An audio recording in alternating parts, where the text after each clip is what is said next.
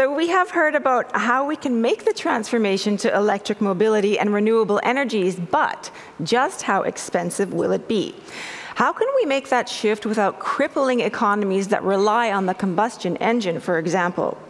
Well, we have the privilege to get the insight on that question from one of the most renowned economists in Germany. Professor Dr. Andreas Löschel has just been named the chair of environmental resource economics and sustainability at the Ruhr University in Bochum. There is nobody better to give us an economic perspective on electrification and climate neutrality. Andreas? Yeah, thanks a lot for having me and talking about uh, electrification and climate neutrality um, uh, the economic perspective, which means uh, what is the regulatory frame um, in order to make these changes happening and to achieve our targets um, uh, in terms of uh, long-term climate neutrality. Um, I'm going to rely in my presentation uh, on material that's available. Um, we are um, um, conducting an annual monitoring process of the German energy transition. Um, and of course, uh, these different uh, climate targets and uh, the role of um, economic instruments uh, to achieve them is key in these uh, annual monitoring. So uh, you can find more information on the status and the progress of the energy transition in Germany in these reports for the German government. Um, the um, general situation in Germany um, here is, uh, as in many other countries, um, um, progressing rapidly. So uh, climate targets have been ratcheted, and you, uh, we have seen an, uh, an, an um, even um, clearer target on climate neutrality moved forward to 2045 uh, by the, the, German government. And that's, um, of course, in line with the um, goals that have been set uh, now by many other countries, uh, the US, Japan, uh, South Korea, um, uh, China uh, 2060 climate neutrality. And um, in, in our case, um, the specificity which makes it very interesting is that um, there is not there are not only targets um, for achieving climate neutrality or for reducing emissions um, in the upcoming decades, but we have as well sectoral targets. So we we uh, directly set uh, targets for different sectors, including the transport sector. And here uh, you can see how these targets have been uh, ratcheted um, in this year. Um, so the transport sector, which originally in Germany had around 160 million ton of CO2 equivalent, um, is now asked to reduce substantially its emissions. Currently, it's about 150. Um, there is um, uh, this uh, this number from 2020 uh, includes quite a, substantial fraction uh, of uh, reductions coming from the COVID crisis and the changes that we've been seeing in 2020. Um, but um, um, from there, we still have to uh, reduce um, uh, almost uh, 60 million tons, um, which is more than 45% in only 10 years. And the question, of course, is how how can we do that, and what are the the main ingredients? And um, main ingredients. Um, this is electric mobility. Uh, in the German case, around 14 million um, uh, electric vehicles. Um, this uh, is more public transportation and, of course, as well, more train traffic, bike and pedestrians. Uh, so um, we have to um, really change substantially the transport sector, and uh, that is uh, that is going to be very difficult because we see that the absolute volumes of traffic they have been increasing in the modal split um, has been um, almost constant. So um, it's it's it remained largely constant, which means that uh, only um, technology or supply side measures are not sufficient um, to reduce uh, substantially our uh, final energy consumption or our greenhouse gas emissions. Uh, we need uh, incentivize more. Uh, we need um, to initiate behavioral changes among individuals and as well uh, among companies. And that's um, demanding because uh, we know that we are progressing only quite slowly. I will show you this uh, in a second. Um, and um, we need time uh, for technologies to develop um, and uh, existing technologies stay uh, for a long time in the market. Um, and uh, what's of course especially important is the um, need for infrastructure um, that has to be developed and, and as well uh, takes time um, um, to uh, uh, out, um, including, of course, then as well the uh, sticking of behavioral patterns in part of transport users. So all this um, uh, makes it so um, difficult to initialize the electric car market and as well um, to stabilize the market rent up, uh, the acceptance uh, by the customers. But um, I think we can um, uh, we can tackle this challenge by a combination of different approaches. And uh, what do we need for that? Well, first we need um, renewable electricity. Um, so if we think about carbon neutrality, um, we uh, can uh, learn from our example that Uh, greening the electricity generation is relatively simple. In Germany, the uh, share of renewables uh, has um, increased continuously over the last two decades uh, and now almost um, uh, makes up 50% of electricity production. Uh, so the, um, elect- the uh, greening of the electricity sector works well, and we have to electrify as well to a much larger extent the other sectors. And that's not only true for transportation, but that's as well true for the building sector. Um, so electrification is an, uh, an, a key um, measure to achieve our climate targets. But for that, we need renewables built out. And uh, here I show you that uh, the uh, the uh, targets for the increases in renewables to really electrify our energy system are substantial. We need substantially more um, renewables built out. Um, the numbers compared to um, developments in the past, which I said um, in, in, Germany uh, have been already quite um, uh, large, have to be tripled or quadrupled uh, in order to really allow for these um, large numbers of green electricity that um, has to be generated to fuel um, our new um, carbon neutral um, energy system uh, and to electrify especially industry um, but as well buildings and transportation. And here we see a lot of obstacles, um, again, infrastructure obstacles. Uh, it's difficult to build out um, the um, uh, electric, electricity infrastructure, um, but we see as well resistance by um, individuals, uh, for example, against um, uh, windmills onshore, um, as well starting against large-scale photovoltaic in Germany. so this is all going to challenge the transition also in the transport sector. the instrument mix no, um, that helps to keep the uh, costs of this transition low um, is uh, built uh, from an economic perspective uh, on um, mainly a set of tools, including carbon pricing, infrastructure development, and R&D support. And here I, um, I um, show you the ideas about carbon pricing that we are discussing uh, at the moment in Germany. Um, so uh, I show you a slide that is um, actually giving information about mitigation costs in different sectors. And on the left-hand side, you see the cheap options. On the right-hand side, you see the expensive options. And if you look at the sector where these options happen, you can see that the current emissions trading system in Europe is incentivized a large share of efficient mitigation options. Um, in energy, in industry, some part as well in building. Uh, but for the transport sector, these options are very costly um, and are not basically or are difficult to incentivize with an emissions trading system. And so therefore, um, in this economic perspective, uh, you need uh, more than just emissions trading. You need R&D support. You have to bring down the costs uh, of these mitigation options. You have to provide the relevant infrastructure.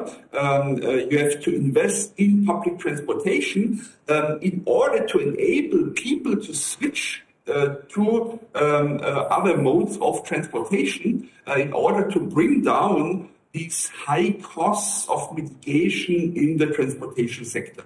Uh, otherwise, the um, CO2 pricing is not going to be effective. And as I said, this is the, the um, instrument that um, economists are favoring most. And you can see that uh, also policymakers are following to some extent this advice. So we are, uh, in, we have in Germany initiated a second emissions trading system that is covering the transport and uh, heat fuels, um, so petrol, diesel, heating oil, natural gas, and so forth, are now as well covered outside the traditional uh, emissions trading system in Germany. Um, and uh, here, these um, uh, fuels are getting uh, a fixed price um, related to their CO2 content. Um, so and here I show you the different phases of our discussions on the ETS, on this new ETS crisis, the National Emissions Trading System. Uh, now the regulation is the dark blue one, 45 to 65 euro in the upcoming years. Um, but obviously, this will not be enough to trigger these changes, as I have shown you before. Um, so, what we need is we need um, higher carbon prices reduce the cost and we need these additional uh, policy instruments. Um, this is in principle possible um, because um, uh, we have done calculation that showed that even with high carbon prices, uh, transport specific expenditures um, are increasing um, uh, moderately for most of the um, individuals, and for the individuals that um, have very high uh, costs um, uh, of transportation, there are possibilities to compensate these additional costs by a clever use um, of the revenues from carbon pricing. So uh, this is, I think, uh, one of the key um, uh, policy uh, challenges to um, uh, rebalance the um, energy pricing systems, make carbon expensive, um, and on the other hand, um, use these um, incomes uh, to uh, address specifically distribution concerns. And in the transport sector, these distribution concerns, um, of course, are there. Um, uh, about commuters, uh, not only in Germany, but also in other um, countries, like, for example, Poland. Um, it's possible, uh, but there need to be a political will. And we made a proposal to not do this in terms of a lump sum uh, redistribution of these revenues, but use this money to uh, in, indeed uh, make electricity cheaper. Uh, because what happens with cheap electricity is that this um, electricity, uh, electrification of these other sectors is much more easy. And so therefore this energy price reform, um, um, asking for higher carbon prices, but giving that back um, to consumers, to firms via lower electricity prices, um, uh, also helps the sector coupling uh, in our energy systems. Of course, um, uh, there are as well other um, um, measures discussed behind, besides this emission trading. Uh, I think emissions trading system in Europe uh, that is going to be uh, installed um, by 2025 or 2026, um, following the Fit for 55, is uh, indeed a very exciting development. But of course, we have as the core instrument emission standards um, in, in, the, in the European dimension. In Germany, we as well discuss about national vehicle tax systems that are based um, on and that are based on uh, CO2 content uh, to um, accelerate this transition, uh, achieving these 14 million um, uh, cars um, that uh, we have seen uh, in achieving our transport-related goal. But of course, it needs more. Um, we have to as well think about how we avoid um, traffic and how we incentivize this modal shift. And again, is um, driving behavior, uh, driving demand. Um, this is a core um, benefit of carbon pricing because many of the um, instruments that are targeting emission standards in the core, they are making transportation cheaper uh, and uh, induce more um, um, um, transport behavior.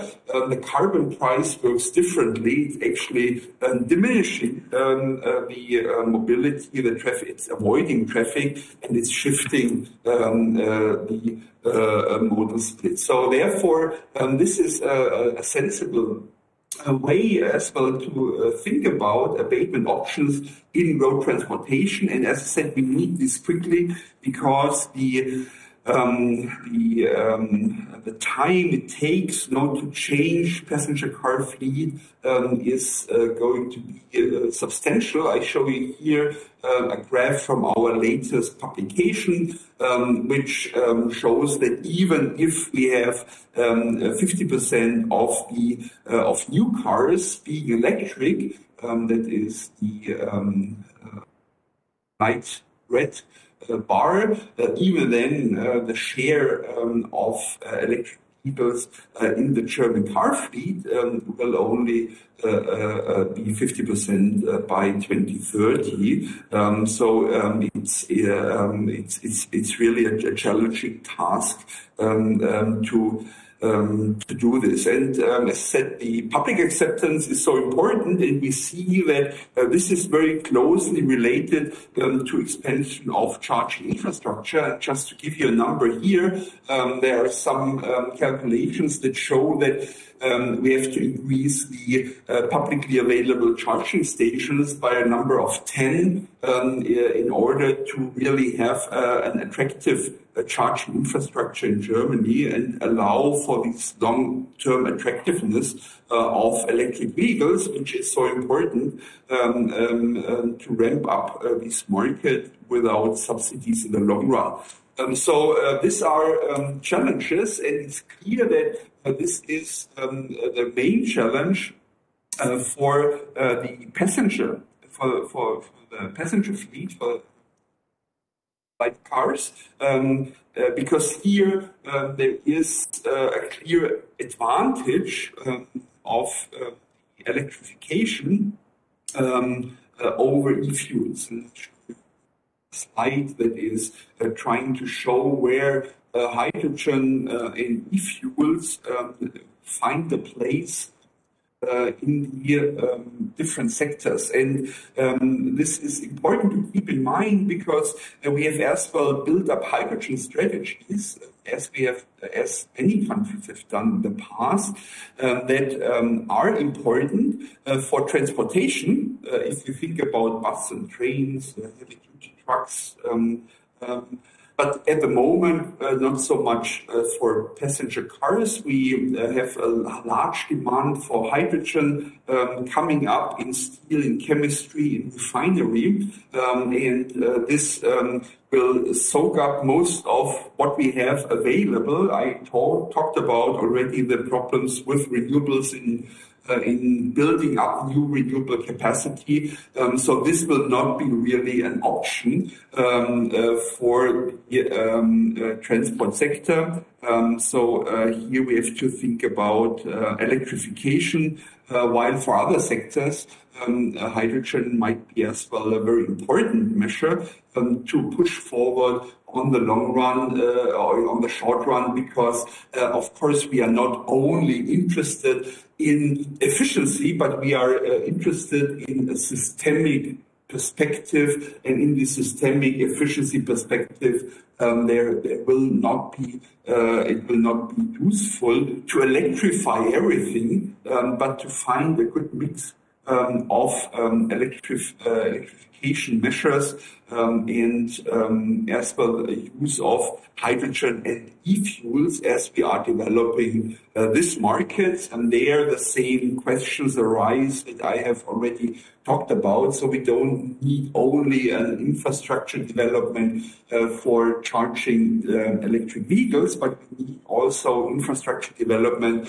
uh, for hydrogen, for CO2 uh, that needs to accompany these economic measures that help us to make transformation. Um, so um, uh, it's clear that um, making the transport sector electric is um, a big part of the electrification and achieving of climate neutrality. And I hope that I could convince you that there is um, a usable and uh, achievable uh, climate-related uh, economic framework to actually do this and, and achieve our. Thanks a lot. All right, Dr. Andreas Löschel, thank you so much for sharing your expertise with us.